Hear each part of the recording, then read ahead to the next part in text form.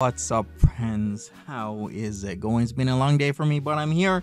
So, I saw this in the Chelsea Lee Art subreddit. Chelsea Lee Art is counseling a homeless woman that is down on her luck to sell herself. Yes, sell her body. And I find this pretty disturbing.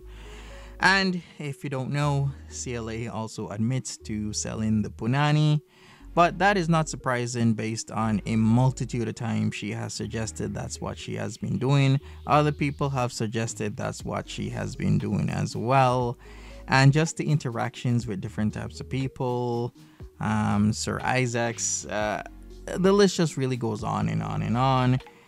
I am completely not surprised that Chelsea R would do something and say something like this and have a mindset where if you're low on cash, well, sell to your body. Now, I'm not shaming uh, night workers, street workers, sex work, to be honest, because it, it's not my business.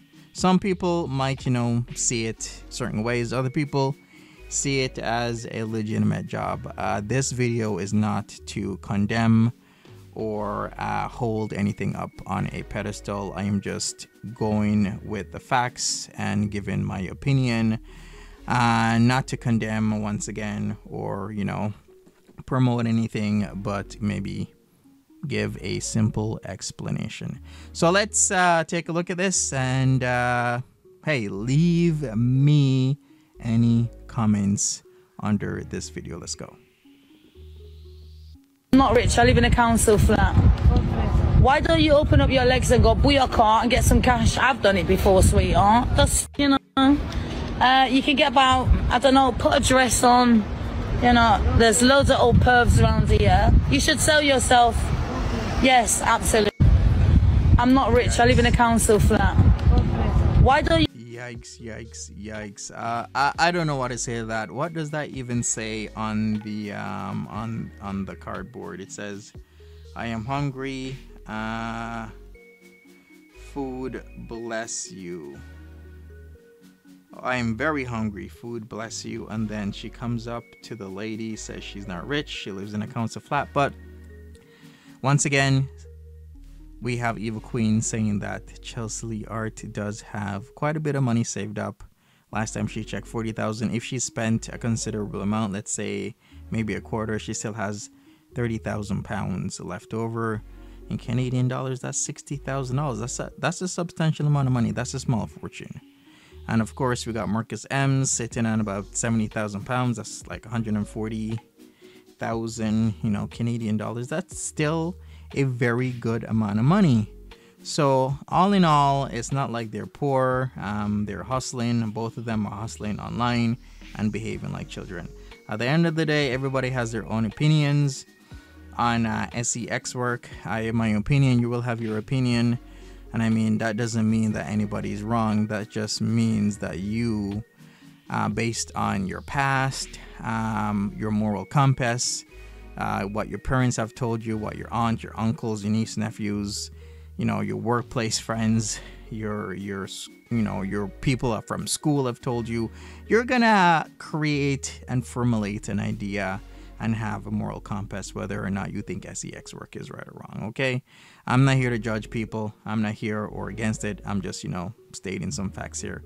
And hey, you tell me what's up. Once again, let's take a look at this and then I'm gonna roll out of here. People, smash that like button, subscribe, all that good stuff. You know what? I'm here, I'm making videos. The least you can do is smash that like button, subscribe to me. I'd appreciate it. Let's go. Let's see what she has to say. I'm not rich. I live in a council flat. Why don't you open up your legs and go buy your car and get some cash? I've done it before, sweetheart. That's, you know, uh, you can get about, I don't know, put a dress on. You know, there's loads of old pervs around here. You should sell yourself. Yes, absolutely. I'm not rich. All right, so that's it. People, thank you so much for this. Really do appreciate you. Leave me a comment, subscribe, share this video. I'm out. Peace. You said I should have texted you more often If I would have wanted you to care But can't you see that I have been busy Trying to pretend that I don't care Look I do care, but I don't care. My phone is always on me, but I'm not there. Notified, but it always coincides with something that overrides. On the grind over time, nobody gets no reply. That's bona fide, no disrespect. Screens always lighting up like a cigarette. I save my writing for the symphonette. Here's the thing. It wasn't my fault. You're not my problem. Look. You're not my problem. But you got issues. Hey. Don't call me. You said I should've texted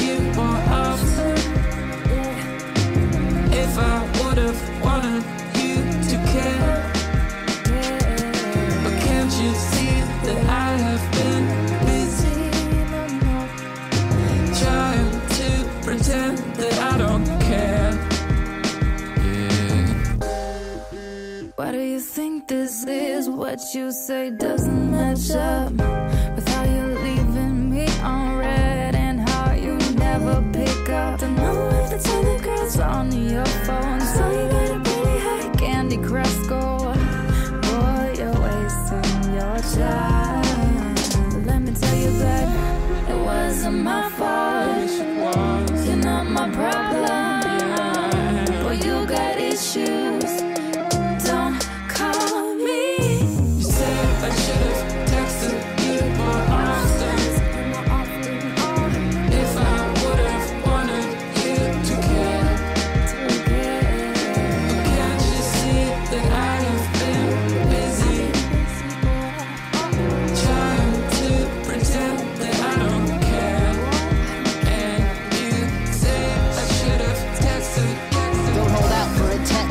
you'll never get.